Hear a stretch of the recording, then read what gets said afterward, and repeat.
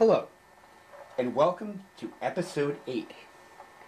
In this episode, we are going to talk about the symmetry of the octahedron.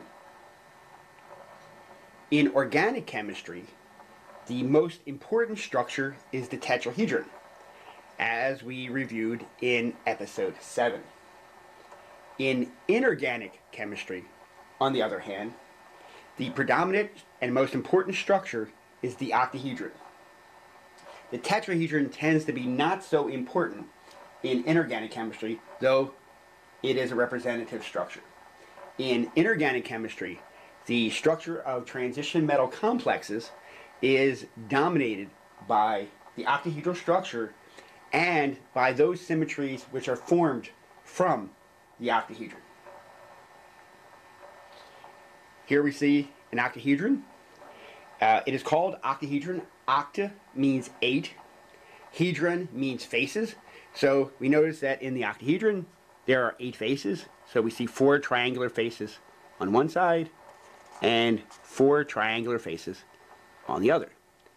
We had noticed last week that the tetrahedron had four faces, so it was like having two two-faced friends.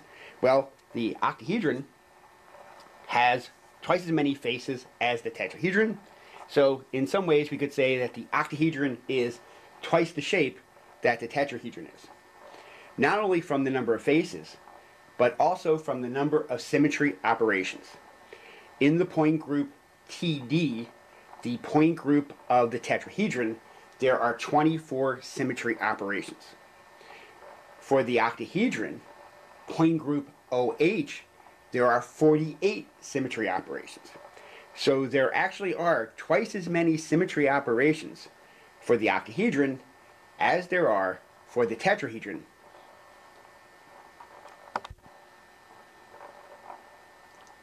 Here we see two octahedra in their native habitat running free.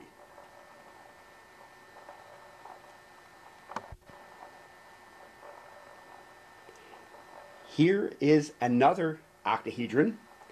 In this case, we have built the models with different color triangles for each face. But we have uh, done it in such a way that on opposing sides of the octahedra, the faces are exactly the same color. And each of these faces, the orange face here and the orange face there, for example, the pink face on this side and then pink face on the other side, those sides are parallel to each other. So in this particular model, the parallel sides are all colored the same. By uh, cutting out additional triangles and coloring each of the faces of the octahedra, it might make it easier to see exactly, uh, more clearly, the structure of the octahedron. With this octahedron, we can see some of the important uh, symmetry features.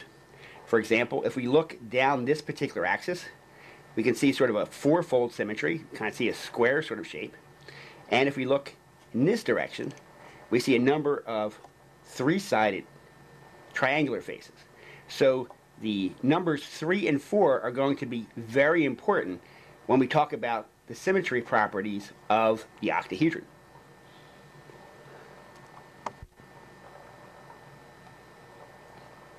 Here we have another octahedron. In this particular model, we've cut out triangles into each of the opposing faces. One of the advantages of doing this, it allows you to actually see into and through the octahedron. So in some cases, may be easier to visualize what's going on with a particular shape by using this type of a model.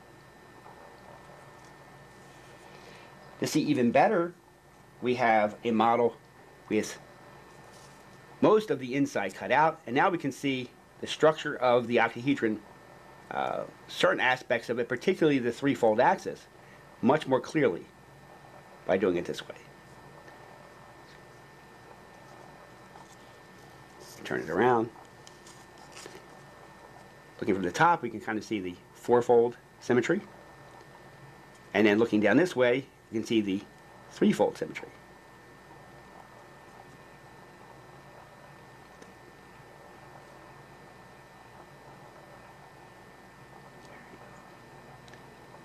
So that is the octahedron.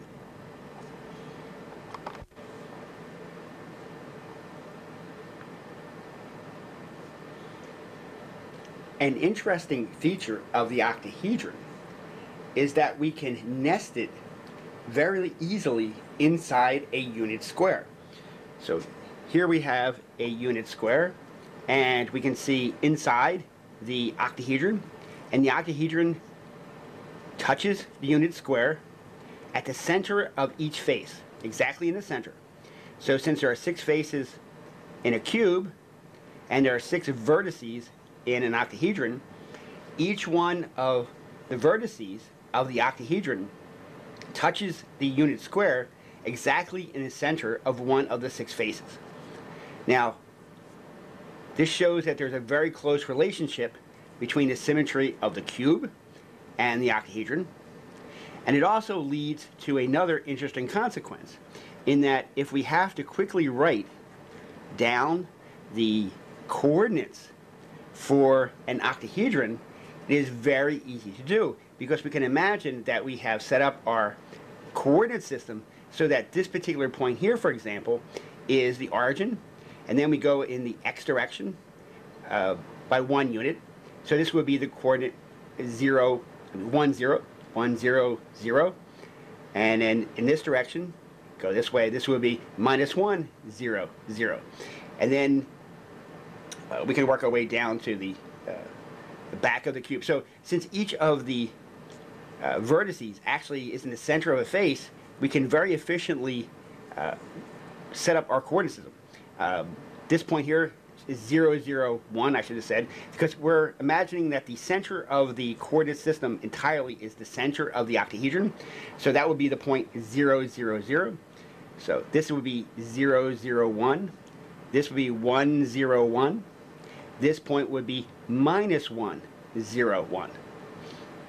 So we have the various different uh, points, and writing the coordinates of the octahedron based upon the unit square is very useful if one wants to use the Kim method to derive the symmetry adapted linear combinations of orbitals for an octahedral complex or a tetrahedral complex. So uh, this ability, it also allows a student to efficiently draw an octahedron very quickly. If they're able to draw a three-dimensional cube, then all they need to do is to connect the various sides of the cube and they'd be able to uh, draw a nested octahedron inside there very easily.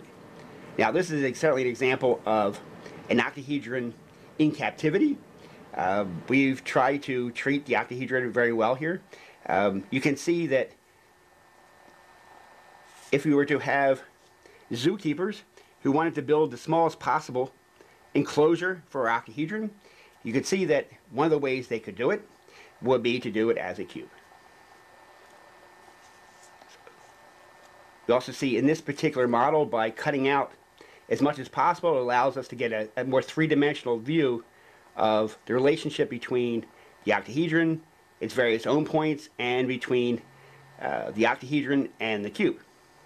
It's not perfectly rectilinear because uh, having added uh, colored walls with another layer of poster board, and once you glue it, it tends to uh, warp a little bit. So uh, it's a little tricky making it perfectly rectilinear, but um, mathematically it is uh, will perfectly nest inside a unicube of this type. In octahedral uh, transition metal complexes, there is a important relationship between the geometry of the octahedron and the geometry of the d orbitals that are so important in transition metal bonding. We were able to build models where we actually print out what the d orbitals look like. And the d orbitals are actually lined up with the proper axes. So in this particular case, we see the d um, xy orbital. So the x-axis goes in this direction. The y-axis goes in this direction. And coming out would be the z orbital. We see that uh, in the d orbitals themselves, we have the proper phase relationships because here we see uh, positive with positive. So this is Gerade, and negative with negative. So it's also Gerade. Gerade means that it's symmetric with respect to inversion. And the fact that d orbitals are Gerade, symmetric with respect to inversion, leads to very, very important spectroscopic properties. We also notice one reason why this arrangement of d orbitals is so important is that we see that we set up our axes in such a way that they point towards the ligands. So these L's are four of the six ligands. Um, in this particular model, the other ligands will be up here and down here. So they'll be in an octahedral arrangement. This model is built in such a way that we can open and close it. We see it's an octahedron this way, but we can open it up to visualize the d orbitals on the central atom. So in this particular case, we see that the lobes of the orbitals point between the ligands. They don't point directly at them, they point between them. Because of this, this particular orbital has relatively lower energy. So this is dxy. And there are two more in the same group. Um, they look similar and their effect uh, is dissimilar. So here we have the orbital dyz. Again, we see that all the d orbitals are Gerade. And this particular d orbital, the lobes point in between the ligands.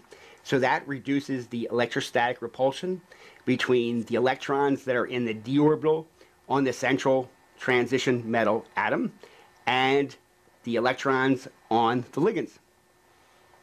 So that is dyz. And last but not least, we have dxz. Again, uh, we have four of the six ligands shown in one of the planes. And so all three of the orbitals that have been built using the orange,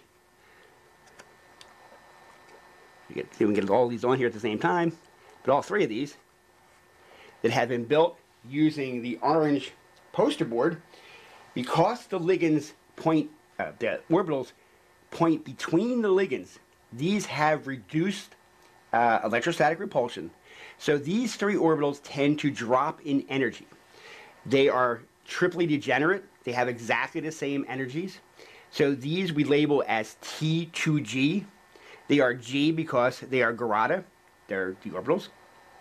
T signifies that we have a triply degenerate um, set of states. So these are the three T2Gs.